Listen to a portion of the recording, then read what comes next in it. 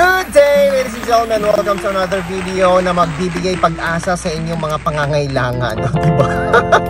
At ngayon, narito po tayo para magbigay sa inyo ng uh, tips, no? Tingnan nyo kung paano nga ba mabilis makapangutang.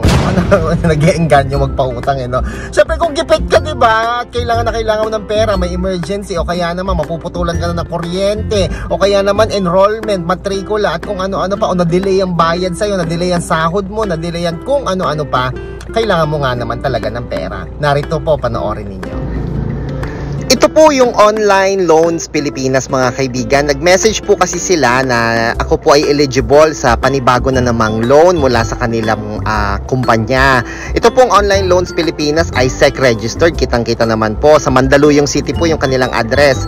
Ito po yung 30,000 no. Yan. Uh, i-click mo lang yon Tapos may magsisend sa'yo ng code tapos ilalagay mo lang yung code dyan. Kung inyo pong mapapansin, yung 30,000 po na loan amount ay merong 27,000 pesos na interest. Napakalaki po talaga. So tignan natin kung pwede bang babaan. 24,000, 30,000, pwede ba siya? Kung 24,000 naman, ayan po ang kanyang finance charge o service charge o yung interest po ay 10,800. So 24,000 plus 10,800 po yan mga kaibigan.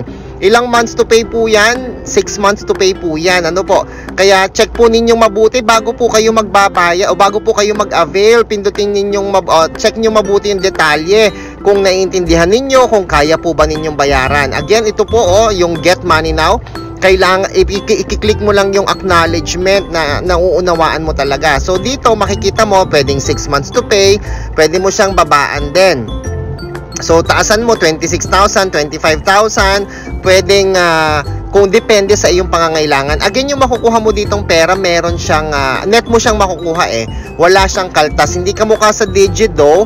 Kapag sa Digido ka nag-loan, merong kaltas. Dito 6 months, oh, walang kaltas, buo mo siyang makukuha. So ito 25,000 pesos, pwedeng 22,000 18, 19, 17. So pwedeng pababa 15,000, 6 months to pay po 'yan. Kaya lang syempre po 'di ba? Uh, maglo-loan ka na lang din. Eh di kung kailangan na kailangan mo naman, eh di isagad mo na kasi baka mamaya hindi mo na ma-avail ulit eh 'di ba? O ayan, pero basta make sure kaya, kaya mong bayaran 'yan mga kaibigan ha.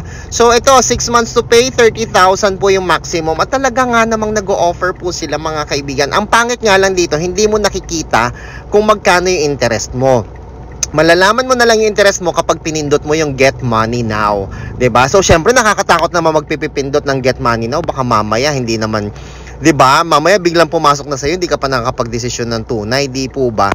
Kaya mga kaibigan, so i-check niyo mabuti yung disbursement details. Again, ayan ha, make sure na number po ninyo yung GCash na nandyan, active po 'yan dahil uh, pag wala yan, wala patay tayo. So ayan, pumasok na po 24,000. Kita niyo po ba mga kaibigan, napakadali lang 'di ba? Agad-agad ang timano ay pumasok po sa ating GCash account. Isang paalala lang po mga kaibigan na siguraduhin lamang na kaya po ninyo yung halagang kaya po ninyong bayaran yung halagang inyong hihiramin, pati yung terms of payment, no? Kung hindi ninyo kayang bayaran, aba, wag nyo na pong utangin. Kung hindi nyo naman alam kung saan kukuhanin yung pambayad, wag na po kayong mangutang dahil nilalagay nyo lamang po sa alanganin inyong buhay at ang inyong pagkatao. Ano po? Again, ang pangungutang po ay isang responsibilidad at isang obligasyon. Hindi dapat tinatakbuhan at hindi dapat tinatalikuran. Ako po si Chico. Enjoy the rest of the day and God bless po.